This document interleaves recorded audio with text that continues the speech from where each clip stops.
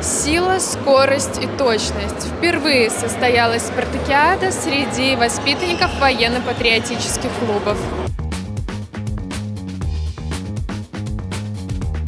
Это наше будущее, которое мы воспитываем, наши патриоты, которые принимают участие во всех наших мероприятиях. Мы собрали четыре школы. Одна из самых основных – это Орлята, наследники Победы. Стрела вот у нас недавно открыла, и Сталь – это заводской район. Планируем в каждом практически районном управлении были свои патриотические классы. Спортивные навыки ребята демонстрировали в тренажерном зале, бассейне, стреляли из пневматической винтовки и участвовали в эстафете. То, что сегодня проводят спартакиаду среди клубов, это для меня второе счастье. Лучше не просиживать дома, больше интенсивно работать. Конкуренция очень хорошая. Спортивный настрой, когда команда из 45 человек поддерживает тебя одного. Очень захватывающий дух. Пришел, поучаствую, почему бы и нет.